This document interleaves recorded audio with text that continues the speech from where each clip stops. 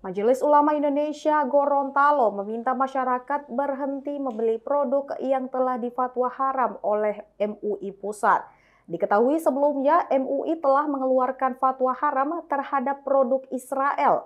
Fatwa nomor 83 tahun 2023 itu berisi dukungan terhadap Palestina dan ingin masyarakat Indonesia tak beli lagi produk-produk yang berafiliasi dengan negara Israel.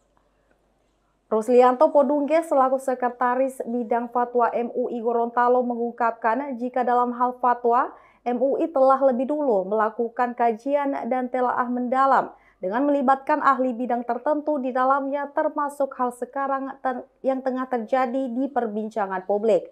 Lebih lanjut, Rusli menyebut bahwa beberapa produk yang telah diharamkan MUI dianggap berafiliasi dengan Zionis Israel – di mana hasil penjualan itu bisa membiayai segala hal berkaitan dengan genosida di Palestina. Dosen hukum ekonomi syariah Yayan Gorontalo itu pun meminta seluruh masyarakat muslim di Indonesia khususnya di Gorontalo untuk berhenti membeli produk-produk yang telah diharamkan oleh MUI.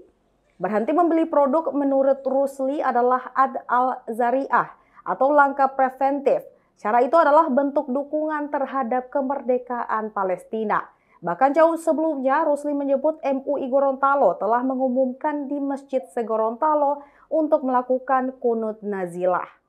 Download Tribun X sekarang, menghadirkan lokal menjadi Indonesia.